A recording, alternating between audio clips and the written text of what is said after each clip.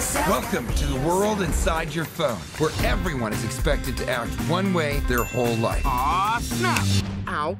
Just the idea of doing a movie with emojis excited me, and I can't believe nobody's done it before. It's one of those ideas where you're like, how has this never been done?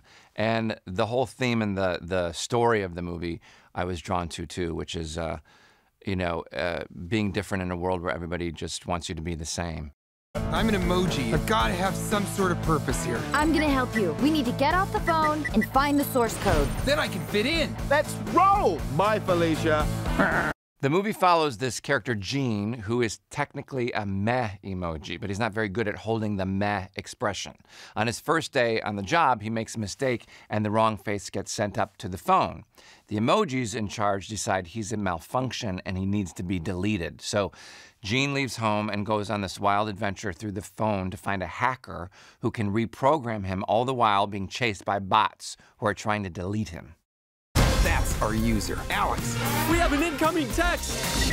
We are go for meh. Who, me? What's he doing? He's making the wrong face. Huh? What the heck? The Emoji Movie really makes the point that it's cool to be different. It's okay if you're not just like your parents or you don't have the same talents as someone else. It's like you do you. Oh, I'm never eating another piece of candy ever again.